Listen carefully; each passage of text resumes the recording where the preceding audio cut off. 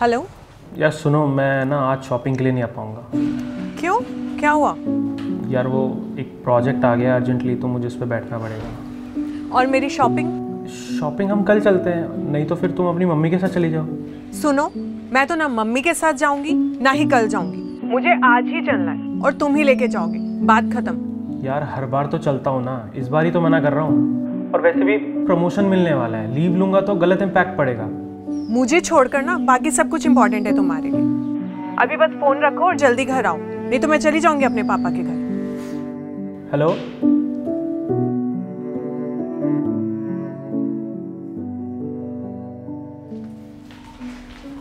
सुनो तुमने मेरी मम्मी का फ़ोन क्यों नहीं उठाया कल? यार सॉरी वो मैं मीटिंग में था। अच्छा अपनी माँ से तो चार चार घंटे फ़ोन पर लगे रहते। और मेरे घर वालों का फ़ोन उठाने का टाइम तक नहीं है तुम्हारे पास? यार अब ये क्या बात हुई लड़ने की? तुम मेरा फ़ोन चेक कर लो। मेरी मम्मी का भी फ़ोन आया था। मैं वो भी नहीं उठा पाया। तुम ना फालतू के ना बहाने मत बनाओ मेरे सामने। यार इसमें बहाने की बात कहाँ से आ गई? तुम भी तो बिज़ी रहती और मेरा फ़ोन नहीं उठाती। मैं कुछ बोलता हूँ क्या? मेरे काम को ना अपने काम से कंपेयर करने की कोई ज़रूरत नहीं है। समझे?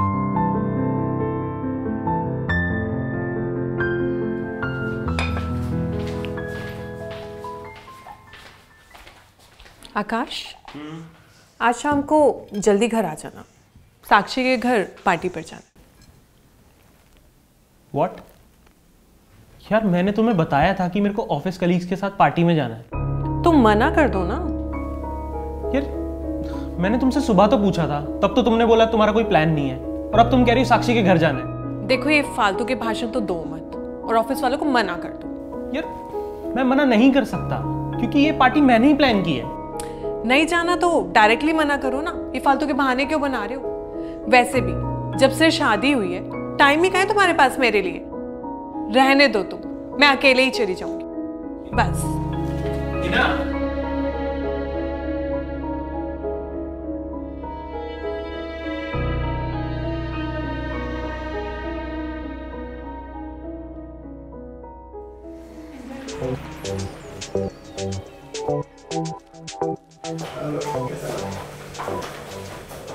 अरे तुझे क्या हुआ? जब से आई तेरा मूड ऑफ़ है। यार ये आकाश ने ना दिमाग खराब करके रखा हुआ है मेरा। क्यों? क्या हो गया? Sakshi I think he doesn't love me any more तुझे ऐसा क्यों लगता है? यार मेरे किसी भी काम के लिए टाइम ही नहीं है उसके पास। मतलब मेडिकल इमरजेंसी में भी वो अवेलेबल नहीं होता क्या? आ, नहीं वहाँ तो होता है। कोई ऐसा काम जो उसके बिना इम्पॉसिबल हो और वो वहाँ ना हो? नहीं ऐसे काम के लिए तो वो हमेशा अवेलेबल होता है लेकिन यार लेकिन तू आकाश से चीज़ें ओवर एक्सपेक्ट कर रही है। अब तुम्हारी कॉलेज वाली लाइफ नहीं है जो सारा दिन वो तुम्हारे साथ टाइम स्पेंड करे। अब मेरे हस्बैंड को ही देख लो वो भी हर जगह अवेलेबल नहीं होते। आ, लेकिन उनकी एब्सेंस में तुम इतना कुछ अकेले मैनेज कैसे करती हो? अकेले कहाँ? सात लोग हैं ना मेरे साथ। मतलब? तुझे एक साइकोलॉजिकल फैक्ट बताती हूँ।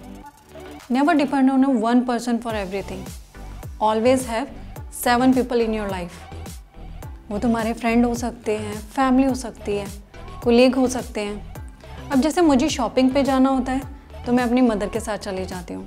और मूड ऑफ़ होता है तो पापा से बात कर लेती हूँ। इसी तरीके से सात लोग हैं मेरी लाइफ में।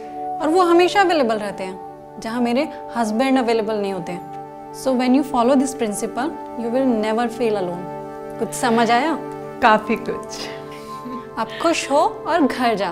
थैंक यू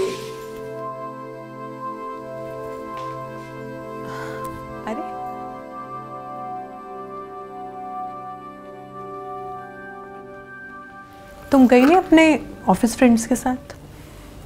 नहीं। वो मैंने प्लान कैंसिल कर दिया। वो सुनो आई एम सॉरी सॉरी किस लिए? वो एक्चुअली आज मुझे रियलाइज़ हुआ कि शादी के बाद मैं तुम पर बहुत ही ज़्यादा डिपेंडेंट हो गई थी। हर छोटी बड़ी चीज़ की रिस्पॉन्सिबिलिटी तुम पर डाल रही थी। And when you are not available तो सोचती थी कि you are taking me for granted but आज रियलाइज़ हुआ कि I was wrong. So, I'm really sorry for that. It's okay. I'm sorry too. मैं तुम्हें टाइम नहीं दे पाया और आइंदा से मैं याद रखूँगा और तुम्हें टाइम ज़रूर दूँगा thank you for understand